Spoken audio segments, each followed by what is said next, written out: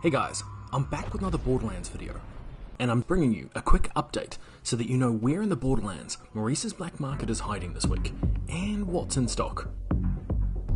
Now, at the moment, you can find Maurice's Black Market on Pandora, in the Splinterlands. And the following is a path from the initial fast travel location to the Black Market's current location. Your munitions have the plot cleansed for you, scaglacker. You're surrounded by a dozen steely-eyed bandits. Do you A, blow them to smithereens with your assault rifle? B, run and take cover? Or C, calmly get them to put their weapons down? And you know the answer is A, my goddamn Torgue gun! From here, it's a quick run straight up to the Black Market, and if you're quick enough, you can likely avoid any combat along the way. What? Goddamn bullshit!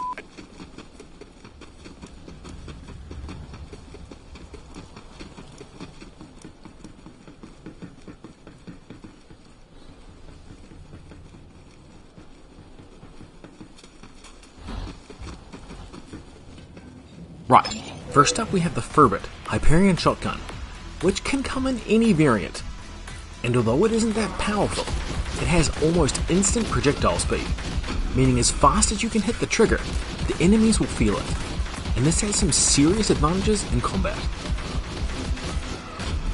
Next up, we have the Psycho Stabber COV pistol. Now, the Psycho Stabber is not so impressive on its own, but with its 340% extra melee damage, it's great if you plan on running a melee focused Amara build. Ah, boom! And lastly, we have the highlight of this week the Atlas Replay. Now, this has an awesome special effect, which with. One shot, replay, sends every following shot to the same location. Exactly. It's insane. The alternate fire mode shoots out 15 tracker darts in a row, and they ignore walls, meaning you can hit enemies behind cover. Plus, the more enemies tagged, the higher the fire rate. Oh, fuck yeah! Based on how this thing is set up, it's much more efficient at taking on large groups of enemies, but that's not to say you couldn't use it on a boss.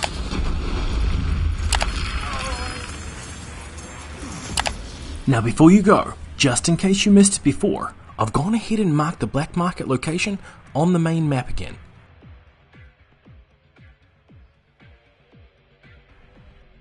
Hey. Oh, you're ignoring me. That's that, that's what you're doing. Okay. Come on! I know I talk a lot because no one else has anything even remotely interesting to say. And now that I'm a hologram, I don't need to breathe, and I can talk all day and night until you are driven insane.